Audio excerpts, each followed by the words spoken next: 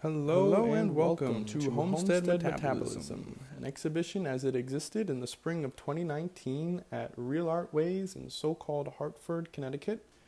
Everything in this installation came directly from my great auntie Mary Furlong's homestead in the so called Braintree on the occupied lands of the Massachusetts Nation.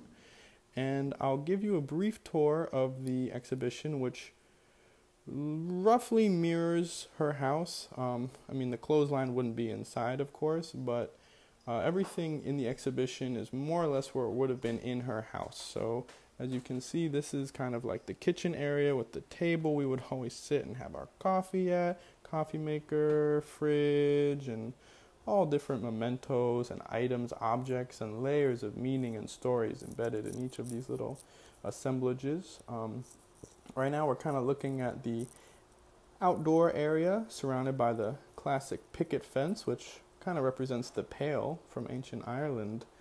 Here's a little statue of St. Francis of Assisi underneath a pink row light. And over here, a lot of the tools that my great grandparents actually used to settle the land, um, clear the, the trees, and, and plant the gardens, which is um, really at the heart of the settler colonial project. This idea of being a planter, a colonist, a settler, all interchangeable words. Um, right here is a coil of telephone wire which goes up and over the top of the clothesline and goes up to the top of the exhibition where it is tied to the uh, maypole, which is also a pike reproduction. I'll get to that one in a little later. But you can see that same telephone line from the outdoor area comes down now over to this side of the exhibition where it's been used to string up with the clothespins all these checks that Auntie Sista used to write me for the caregiving, which I've started to turn into an alternative care backed investment note called Care Shares. Um, so you can see this is kind of the living room area, but on the other side it's kind of Auntie's room with her bed and the crib that her great grandfather, my great grandfather, made for her in uh, Newfoundland.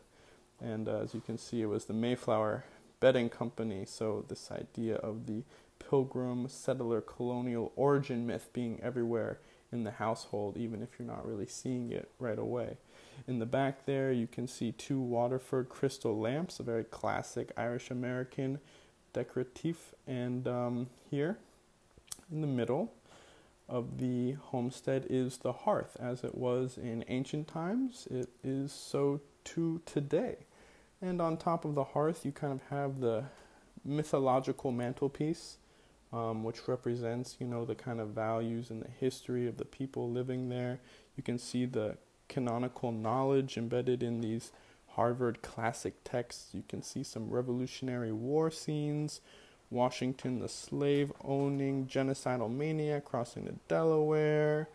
Um, there are different pieces of her oil furnace that have been replaced over time, which I've turned into candle holders and uh, you know just JFK busts, classic. Here's a plate with a Norman castle on it. Our family actually came over with the Normans originally to Ireland. Um, a Plymouth Rock plate, Mickey the Minuteman plate from the bicentenary celebration, and in the middle again we have the myth of the Pilgrims and what they represent as far as this uh, taking over of indigenous land. And of course, the other side of that is represented by these two empty uh, moccasins. Well, they're representations of moccasins, but you know, of course, none of this land would have been available for settlers to take had it not been for the genocide of indigenous peoples across Turtle Island. So that's kind of what that represents. And then the bricks from this um, from this hearth are actually left over from the chimney when they were building the chimney, and the soil the clay soil that these are made of actually comes from the Titicut Reservation of the Mattakeeset tribe of the Massachusetts Nation. Um, and in between all the bricks are actually my auntie's old utility bills that I used to help her pay. Uh, you know, everything from light, gas, electric, telephone, everything that keeps the modern homestead running um, if you have the capital that is to pay for them. Um, and then right on the other side of the living room is a model of her heating system, which is sitting in this serving table, which my great grandparents bought in Butte, Montana, before they moved to um, so called Braintree. Um, on the kind of bottom floor, you can see the interior of the house, the domestic situation with a little pond I built in the backyard actually.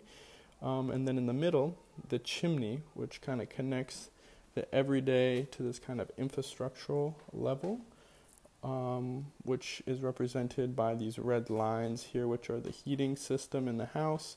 And then the blueprint of the house itself is actually constructed with her utility bills that I collaged together with some of her old checks. Um, again, getting back to that idea of exchange through capital to uh, sustain the everyday.